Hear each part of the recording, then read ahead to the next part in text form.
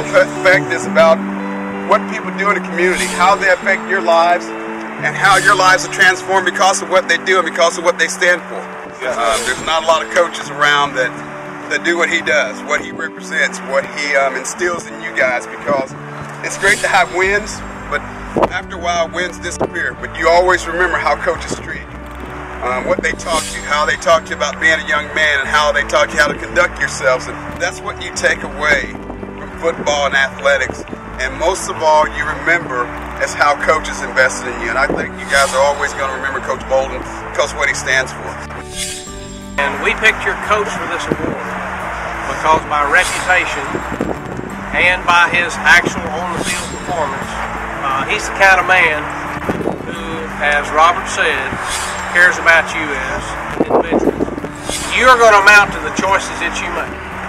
And the people in your life who are pouring themselves in you, they will make a difference, not just for this season, but for your whole life.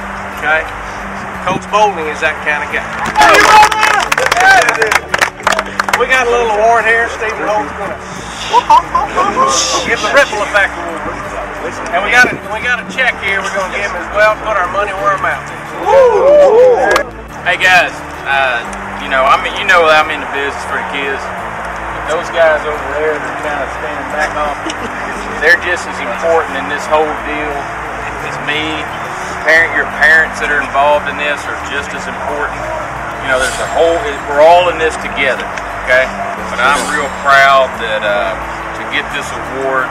You know, and hey, it's all of our award. Okay, yeah. and uh, let's make people proud of this community and around the state how we conduct ourselves as North Little Rock Charging Wildcats. Okay.